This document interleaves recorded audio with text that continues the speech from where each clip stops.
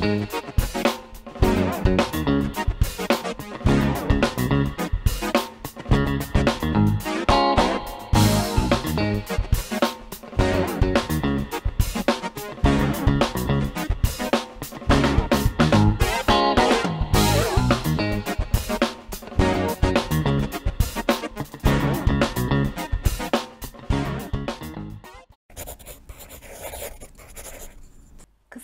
aradan sonra Artvid'in yeni bölümünde e, bu kez sevgili Melike Kılıç ile birlikteyiz. Melike'cim hoş geldin. Daha doğrusu biz hoş bulduk. Yeni atölyene geldik. Evet. Hayırlı olsun. E, bizi kabul ettiğin için çok teşekkür ederiz. Şimdi Melike'cim benim uzun yıllardır tanıdığım ve çok sevdiğim bir sanatçı açıkçası. Hem kendi koleksiyonumda çok sevdiğim bir eseri var. Hem birçok projede birlikte çalıştık. Yıllardır eserlerini, işlerini, seni e, takip ediyorum. Dostluğunu da çok seviyorum. E, şimdi bugün e, senin dünyanın e, detaylarının olduğu atölyene böyle gelip seni bir ziyaret etmek istedik ki üzerinde daha rahat konuşalım, sohbet edelim. Bugün Türkiye'de e, yani bir elin parmaklarını geçmeyecek kadar kağıt sanatçısı var. Geçenlerde inceliyordum sosyal medyanda da uzundur böyle bir tanımlama görmemiştim. Melike Kılıç kağıt sanatçısı diye e, böyle bir tanımlama yapmışlar senin için. Dedim bunu bir Melike'ye sorayım. Bunun üzerinden bir konuşalım. Yani evet kağıt ve sulu boya ile yaptığın kağıt heykeller senin imza işlerin. Evet. Ee, başka türlü işlerin, başka türlü çalışmaların da var ama kağıda nasıl geldin? Kağıtla ilişkin nasıl başladı?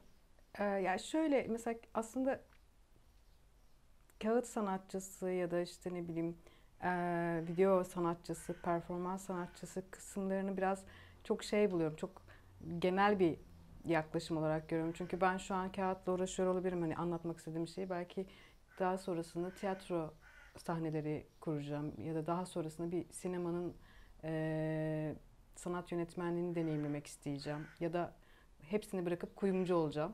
Aha süper.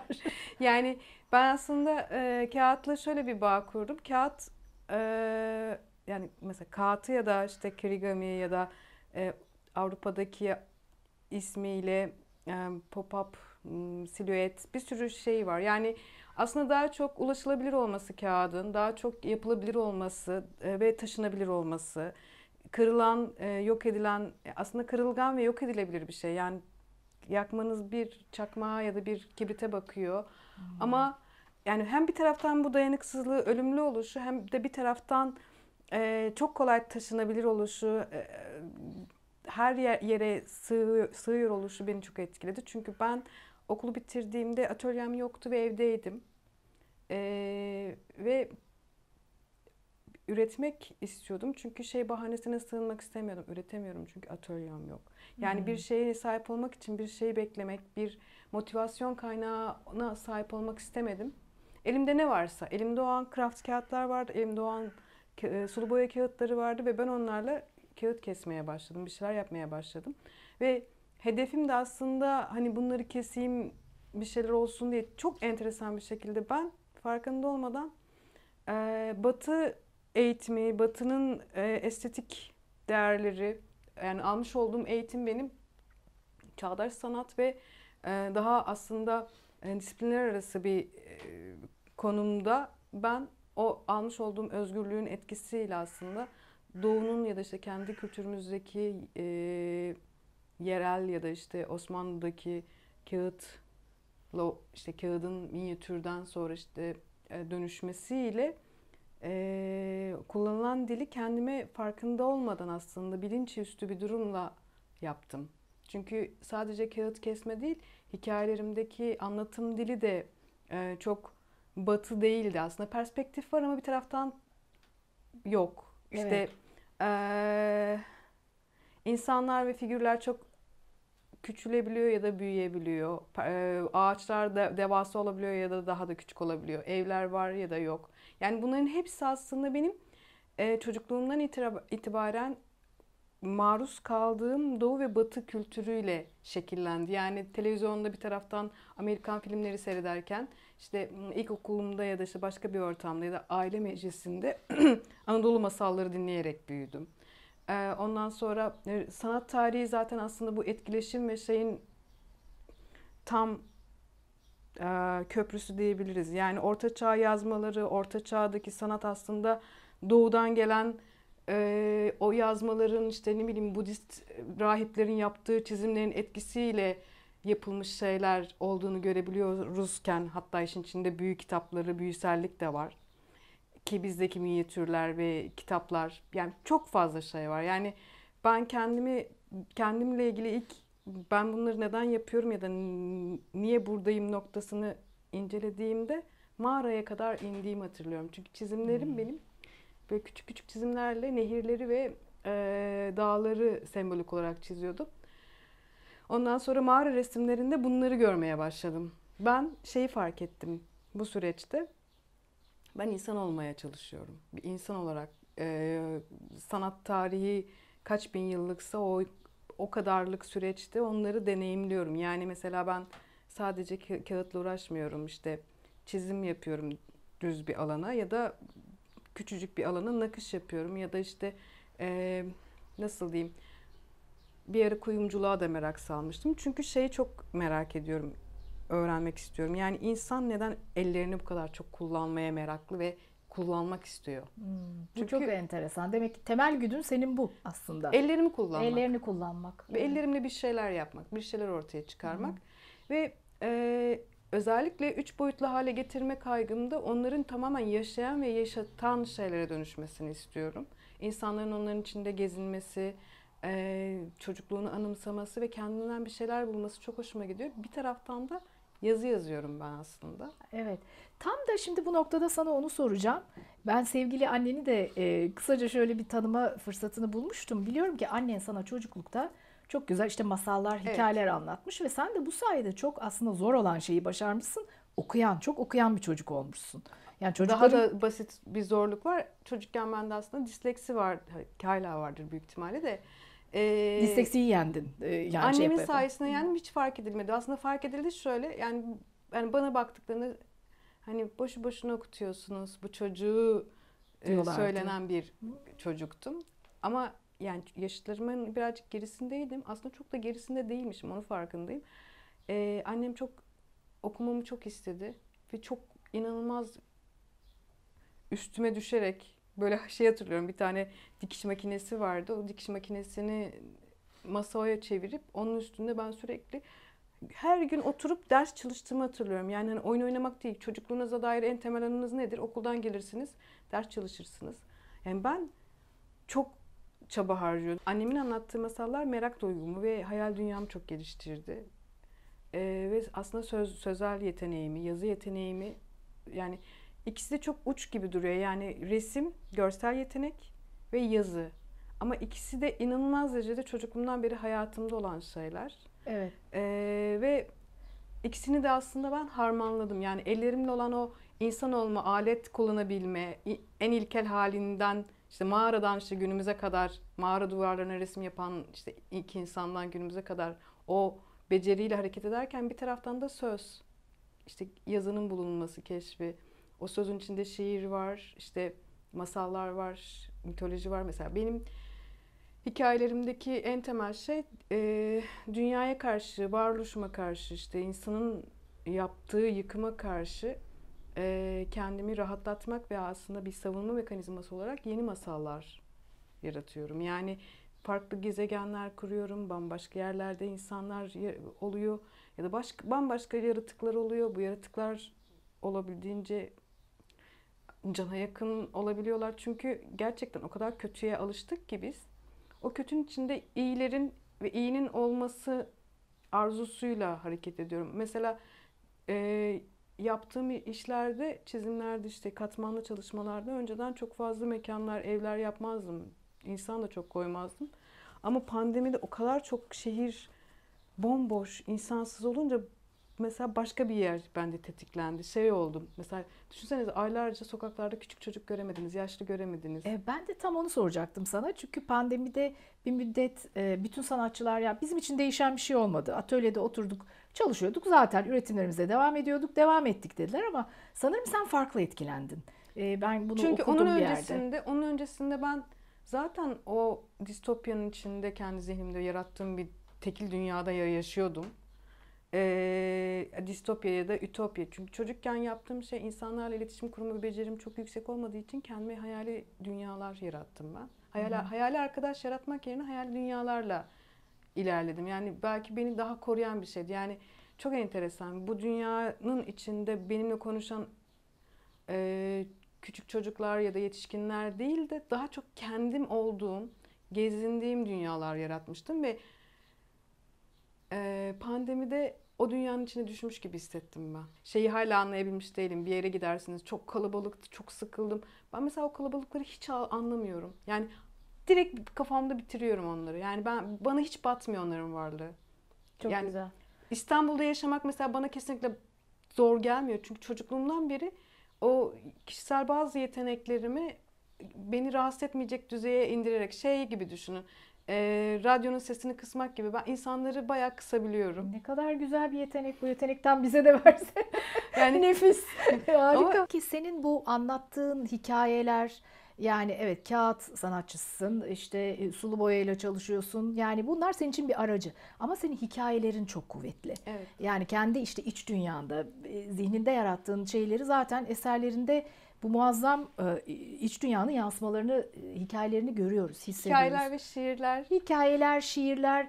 Sen tabii bunları yapabilmek için çok da iyi bir okur yazar olmak lazım. Yani edebiyat okuru olmak lazım daha doğrusu. Onu biliyorum. Herkesin de öyle kolay kolay adını ağzına alamayacağı e, şeylerin, yazarların kitaplarını da okuduğunu da biliyorum. Öyle değil mi? Yani, Yani- iyi bir edebiyat takipçisi, okurusun. Şöyle söyleyeyim lisedeki en büyük karım eee, şansıma bir çok zengin bir kütüphane denk geldi bana.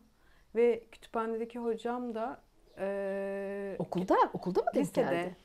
E, o zamana kadar okuyordum. Evet ama o zamana kadar daha böyle klasikleri ve şeyleri okuyordum. Hani nasıl derler daha genç kızların okuduğu işte daha böyle popüler kitapları okuyordum. Öyle bir şey ki ben mesela Schiller külliyatını okudum. Hmm. işte Shakespeare külliyatını okudum. Neredeyse e, şeyin de Goethe'nin de bayağı bir kitabını oku, okumuşluğum vardı. Başka bir sürü böyle hani kenarda kıyıda köşede kalmış hatta şey bir e, tiyatro e, yönetmeni ya da bir editör birisiyle tanışmıştım. Yani bir arkadaşım, hayli arkadaşız. Bana şey demişti o ergenlikte tanışmıştım. E, tiyatro tiyatro okuyan öğrencilerin bile okumadığı kadar çok büyük bir çeşit, çeşitlilikte Oku- okumuşsun Evet, evet. demişti. E, ve yani çok büyük bir zevkle okudum ben o kitapları. E, ritüel ve büyü konusunu çok işlerim. Çünkü şeyi çok düşünürüm. Yani biz bütün dünya olarak neden bu kadar çok bu tarz şeylere düşkünüz? Nazara, işte kurşuna, ondan sonra bir sürü şeye. Ve insan doğasındaki rüyalar, mu- mucizeler, olağanüstülük e, ve e, antik çağlardan günümüze kadar getirdiğimiz bu spiritüel ve metafizik konular çok ilgimi çeker benim, çekiyor. Çünkü e, köyde de bir yerde aslında bunlarla büyüyorsunuz. Yani işte bir Doğru. kadın birdenbire bir şey anlatmaya başlıyor. İşte karanlıkta birisini gördüm, şöyle boydaydı falan diye. O anlatım dilindeki, vücut dilindeki şey, e, etkileşim beni çok böyle hem bir taraftan tedirgin ederdi hem de bir taraftan çok etkilenirdim. Bir de şey var, e, sezgisel olarak yani her şeyi hissedebilme şeyi vardı bir yani ben mesela çocukken hatırlıyorum kendi büyüdüğüm mahalledeki bütün ağaçları görüyordum yani hissediyordum onları ya da denizi denize baktığımda denizi görmüyordum sadece. Denizin içindeki çok büyük bir organizmayı algılıyordum. Ya da yani şey çok enteresan dünyada var olmayı çok seviyorum. Yani bu dünyada yaşamak gerçekten bana büyük bir zevk veriyor. Yani mesela temel motivasyonum şu dünyada görüp görebileceğim her yeri görmek istiyorum. Yani şu an sadece iki ülkeyi belki gördüm. Ama onun dışında diğerlerini de mutlaka göreceğimi biliyorum. Hani göremesem de rüyalarımda gidiyorum Gidiyorsun. diyebilirim yani. Evet, evet. Tam da rüyam- diyecektim. Çok kuvvetli rüyaların olmalı. Çok Evet. yani inanılmaz Hmm. değişik rüyalar görüyorum. Bazen zamanda yolculuk yapıyorum. Bazen Tabii. uzaya çıkıyorum. Evet. Ondan sonra boyutlar arası geziniyorum falan. Çok enteresan. Yani eee, zaten şeydi, üniversiteye başladığım sene birisinin, işte bir atölyeye girmiştim. Bana şey demişti, ne yapacaksın? Ne yapmayı düşünüyorsun demişti. Yani o hani ilk zamanlar bir ukalalık vardır ya daha hiçbir şey Evet, bilmeden. evet, şey evet. demiştim çok, çok gülüyorum. İşte rüyalarımı çizsem bana yeter demiştim ama yetmiyormuş yani o değil olay ama Ama çok da doğru söylemişsin. Neticede hakikaten de o yolda gidiyorsun. Yani, o Yani, yolu takip tabii, tabii etmişsin. şey çünkü e, Plato'da e, bir tane yerleştirme yapmıştım duvara çizimli. Devler sofrası. Devler sofrası. Devler ben onu sofrası, mesela evet. iki türlü rüyamda görmüştüm. Gerçekten mi? Evet. Aa, Şöyle mesela devler evet, bir o- rüyamda O, o serginin de fotoğrafını burada verelim. Evet, Hazır evet. bahsetmişken müthiş Mesela- bir yerleştirmeydi. Hem duvara çizmiştin hem de küçük böyle o yere taşlar da yine buradan gitmeye çok enteresan rüyalar görüyorum ve yani o rüyaların birçoğu aslında benle alakalı değil. Hep böyle toplumsal ya da böyle şey e, eskiye dönük ya da çok enteresan yani gezmeli, görmeli böyle şey gibi belgesel gibi ya da sinema çok sinematografik rüyalar. Onun içinden böyle bayağı bir görseller ve şeyler e, sahneler seçiyorum. Ben nadir böyle rüya görürüm Ee, ama çok renkli ve koku aldığım rüyaları gördüğüm sabahlarda yorgun uyanıyorum. Şimdi e, demek ki beyin öyle bir e, efor sarf ediyor Evet. ki aslında neler oluyor seni tahmin edemiyorum. Kim ben bilir? de çoğunlukla yorgunum. Kim bilir neler. Peki senin bu e, katmanlı kağıt çalışmalarında ki hikayelerinde ben böyle çok e, tanıdık motifler de görüyorum. Yani çok böyle tipik ağaçların var. Ondan sonra saçları uzun uçuşan e, kızların var. Ondan sonra çift gözlü e, bazen tilki var sanırım. Hı hı. Yani ara ara hep Hayvanlar var, Hayvanlar, hayvanlar var, bir yaratıklar çift var. Bir tane de şey var. Bir de çamaşırlar var. Benim çok hoşuma giden o bir yerde diyorsun ki çamaşırlar çok ortak dilimiz. Bütün Hı hı. dünya çamaşır yıkar ve asar. Bayılıyorum. Yani e, çamaşırlar şokta diye de bir çalışma var hatta. Harika. Bu çamaşırlar nedir Allah aşkına? Yani birçok çalışmanda bir imzan gibi bir e, Melike'nin bir motifi olarak onu görüyorum. Ya şey kısmı aslında izlediğimiz bütün filmlerde hangi işte İran filminde de izleseniz işte ne bileyim İnci Küpeli Kızı da izleseniz mutlaka o sepet elinde tutuyor ve çamaşır asıyor ya da çamaşır yıkıyor bir şey oluyor yani. Amerikan filminde, western filminde de. Ki ben mesela annemle çocukken çok acayip derecede film izledim. Yani kitabı bırakın bir de film çocukken izliyordum. çok film izledim. Sonra mesela e, 2004'ten sonra bir film izleme şeyine daha girdim ben periyoduna. Çok izledim böyle acayip. Bir de şöyle bir tarafım var. İlk başka bir yerde itiraf etmiştim. Ben çamaşır asmayı sevmiyorum. Ama çok baskın yani çamaşırlar var senin şeylerinde. Çünkü ben sokakta dolaşırken, mahalleleri gezerken de o insanların ip böyle inci gibi dizdiği çamaşırlar var ya Evet, böyle evet. büyükten küçüğe atletleri bir ipe işte küçük çocuk donlarını bir ipe asarlar. Evet, evet. O estetikten inanılmaz etkileniyorum. Çünkü Evet. orada şey durumu var. Hala aslında nasıl diyeyim? Şimdi mesela çamaşır kurutucular falan çıktı. İşte ne bileyim bu e, büyük yapılan binalarda dışarıya ya da balkona çamaşır asmak yasaklandı. Evet, bir sürü evet. şey. Yani Evet. ama o estetiği ben seviyorum çünkü şey var. Bir yaşanmışlık bir şey, bir evet, ortak değil. Orada orada birisinin yaşadığına, birisinin o bir hayatını işaret. iyi bir şekilde aslında e, devam ettirdiğine bir çok sağlıklı bir işaret. Çünkü psikolojide de vardır yani ke- Evet. kendinize bakabiliyorsanız işte mesela kedinize iyi bakabiliyorsanız hani Doğru. toparladığınız Doğru. yani doğru. çok büyük depresyondan çıkan insanlar hep bu şeyle hani şey der ya ben nasıl anlayacağım depresyondan çıktığımı? İşte bitkilerin ölmüyorsa, doğru. hayvanların yaşamaya devam ediyorsa ve çamaşırların da temizse Çok güzel. Çok güzel. Aslında yaşıyorsun demek. Taş diyordun. Taş. ta- du- yani taşları taşı. ben mesela taşları şey kullanıyorum. Ee, yani bir yere mesela bütün toprakları e, böyle sopalarla yukarıya kaldırmıştım. Öyle bir serim vardı. Hmm. Oradaki şey mesela e, aslında bu toprak parçası için savaşan insanlardan yükseğe çıkarmaktı derdim. Yani bir toprak parçasını bölüşemediniz. Çok doğru. Bütün dünyada işte bütün Aslında savaşların bizim biz su savaşları falan vermeyeceğiz ileride. Hı.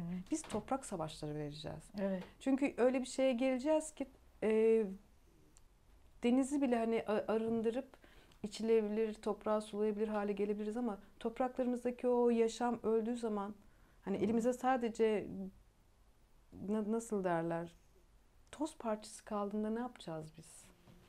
Çünkü toprağa basmak istiyoruz. Toprakla bir bağımız var. Genetik bir akrabalığımız var diyebiliriz. Yani oradaki mineraller sonuçta bizde de var. Biz de bir nevi toprağız. Toprağız tabii. Bir nevi dünyanın farklı bir versiyonuyuz. Daha Öyle. böyle yaşayan organik bir versiyonuyuz. Yani çok enteresan. Ee, buraya aitiz ve buranın kim, şeyini hmm, nasıl diyeyim kodlarını hep beraber taşıyoruz. Yani domatesle de akrabalığımız çıkabiliyor, sinekle de çıkabiliyor, işte Tabii. maymunla da çıkabiliyor ve biz hala burayı bitirip Mars'a ya da işte buraya benzer bir gezegene gitme hayali kuruyoruz. Önce burada gerçekten yaşamayı denesek ve burayı sevmeye çalışsak. Parayı da anlayamıyorum. Düşünsenize trilyonlarca liranız var ve onun karşılığı yok aslında. Yani bankada sadece böyle işte bir sürü rakam. Evet. Yani mesela ben çocukken babamın cebinden para haşırırdım. Ama büyük kağıt para haşıramazdım çünkü ben onu nasıl harcayacağım derdim. Öbürüne hakim olabiliyorum. Evet ama öbürü sana çok büyük Çok geliyordu. büyük geliyor. Yani o bankadaki hesap da bana çok büyük geliyor. Yani şu an aslında bunların hepsini deneyimliyoruz. Ee, Finans, e, para çok çabuk aslında uçabilir şeyler ama ağaçlar, deniz, okyanuslar öyle değil. Çok doğru. Karşılığı olan şeyler bunlar. Çok güzel. Çok çok senin dünyanda da yani senin es- eserlerinde de bu tam anlattıkların karşılığını buluyor açıkçası. Peki yani finans minans dedik şimdi sanatınla ilgili e, e, buraya şey yapacağım. Sen bağımsız bir sanatçısın. Yani bir e, uzun yıllardır da böylesin. Yani hep seni bildim bileli böylesin daha Evet. doğrusu. Önceden korkuyordum galerilerden birazcık. evet. Ama şeyden korkuyordum yani eee, işte enstalasyonlar yapıyordum. Daha özgür, daha hani o çerçevenin içine girmeyen işler yapıyorum. Hala yapıyorum fırsat bulduğumda. Eee, daha sonrasında birkaç galeride ama biz bunları nasıl satacağız şey olunca hani böyle bir ürktüm. evet. Yani sonrasında ama şeyi kotardım yani satış da olması gerekiyormuş. Evet, yani o tabii. kadar yüksek yüksek Ha, hani ben de tam onu diyecektim. Yani bu durumla da barıştın bir Tabii yerden tabii çok, sonra çok, değil mi? Çok, çok Aynen. güzel bir şekilde barıştım. Çünkü şöyle fark ettim. Yani bendeki başlayan ya, o zaman da aslında barışıktım da na- nasıl yapacağımı tam çözememiştim. Yani her e, hani her, her şerde bir ara bin hayır kelimesi işte orada devreye giriyor. Ben mesela büyük işler yaparken 2015'te bileğimi sakatladım. İki sene boyunca öyle bir sürecim oldu. Küçülmem mesela bunları yapmam o süreçte oldu. Çünkü bunları yap, yaparken bileğim ağrıyordu, acıyordu ama şey üretme isteği de var bir taraftan. Tabii. Küçüldüm. Bu kareler, yuvarlaklar hep o şeylerde süreçte gelişmeye Gelişti, başladı. Hatta evet. sergide e, Kuat Galeri'de Küçük Güzeldir Ama sergisi yaptılar. hakikaten de küçük, Küçük güzeldir. küçük işler istediler. Ben de bunları yapmaya başladım ve bir başlangıç oldu ve böyle macera gibi oradan oraya sürüklenmeye başladım. Ee, ve koleksiyona yani insanlar alıyor, bir şeyler oluyor falan böyle şey çok keyif aldım. Ama şunu yaşadım ben. Ben sakatlanana kadar yaptığım şeyin ne kadar zor olduğunu, ne kadar bana aslında kollarıma, boynuma, dirseklerime ağır ağrı verdiğini, yorduğunu farkında değildim. Çok keyif Hmm. alıyorum. Çok mü- müthiş bir zevkle yapıyorum ya. Ee, hani finansını çok hesaplamıyordum. Yani çok umursamıyordum ya da şeyinde değildim. Şimdi mesela daha çok daha profesyonel yaklaşmaya başladım. Çünkü sağlık. Böyle büyük organizasyonlar var. Nasıl diyeyim? Dernekler var. Bunların aslında şeyine iki şey almaları gerekiyor. Birincisi e, genç sanatçı adayları için bir malzeme havuzu oluşturmaları keşke gerek yap, yapabilseler. Hı hı.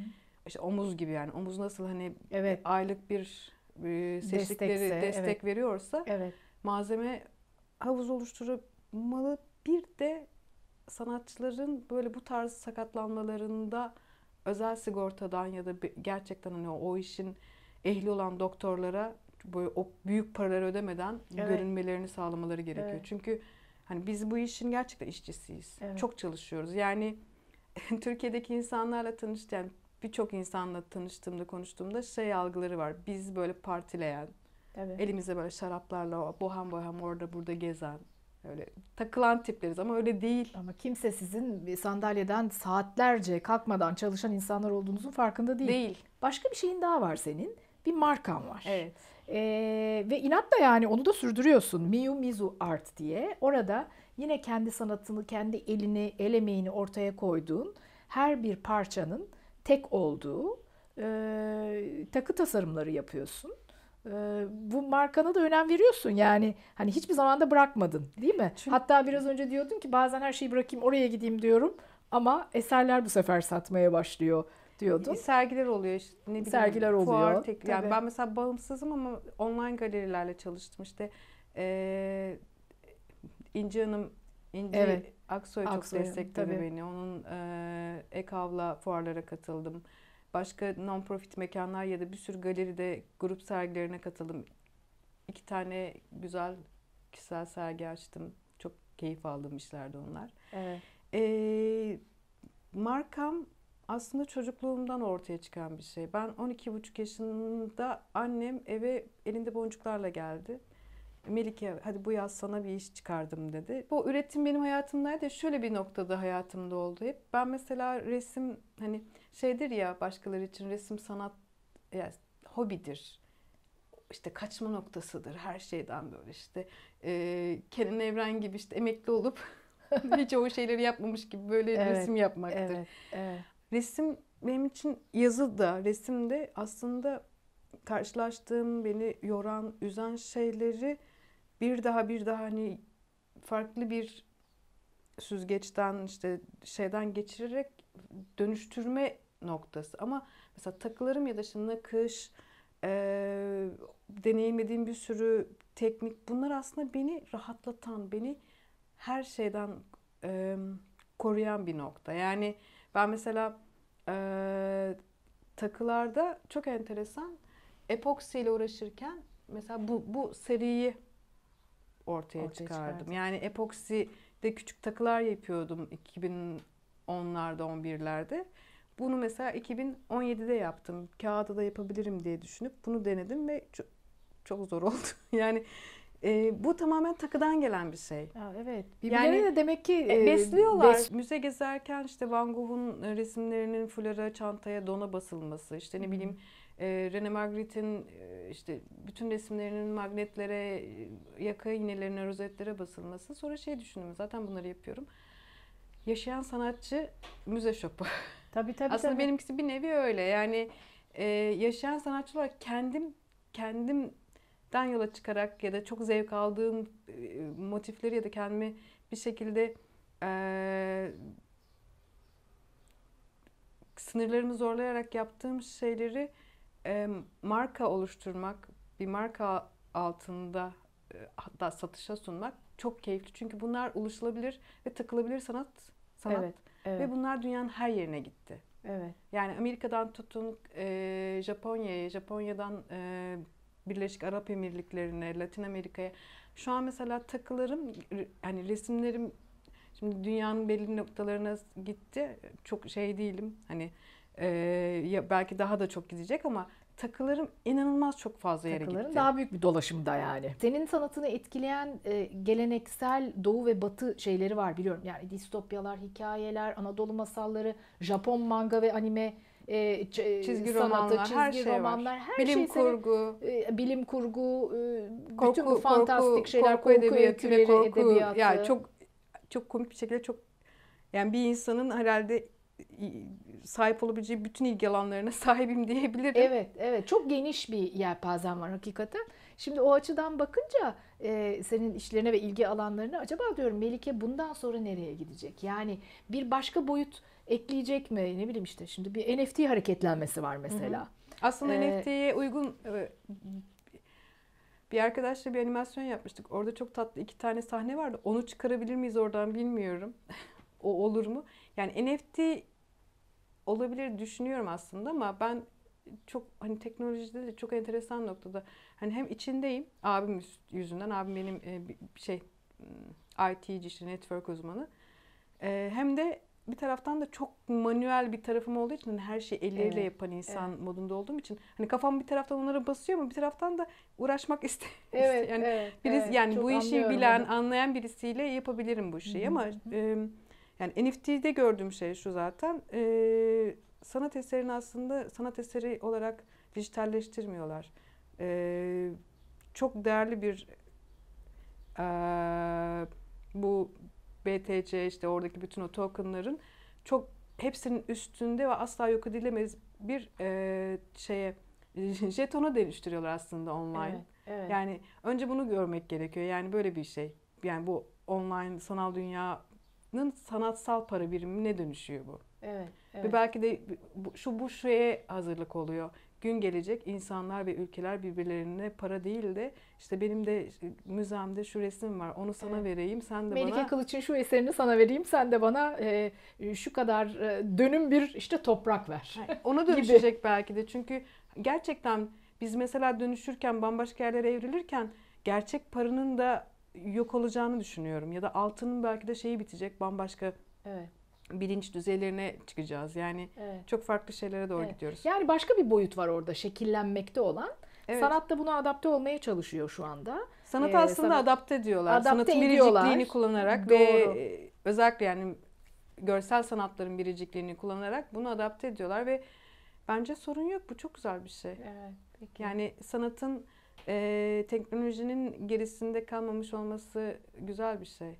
Melike son olarak seni çok zorlamazsa Hı. bize çok kısa küçük bir şiir okur musun veya küçük bir e, hikaye anlatır mısın? Senin sesinden dinleyebilir miyiz? Karanlık göllerde kararlı bir yaratığa mı dönüştün? Üçüncü gözün ışığı bile seni bulamaz. Bulamaz da tehlikeli yolları arşınlayamaz. Bir masalın etik olmayan deri. Kuyuya inemez. İnemez de salise nehirlerine dalamaz. Nehirler akmış, akmış, akmış. Tüm kapatılmış kahve fincanlarının kara masalı. Masal bir, masal iki, sayıyor şifacı nefesi.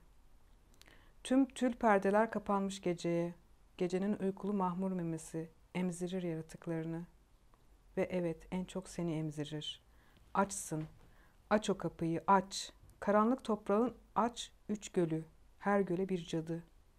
Tahir ve Zühre gibi aşık oldu. Oldu da nasıl olduğunu bilemedi. Bilemezdi çünkü okumamıştı henüz o aşkı. Aşkın karanlık çölü.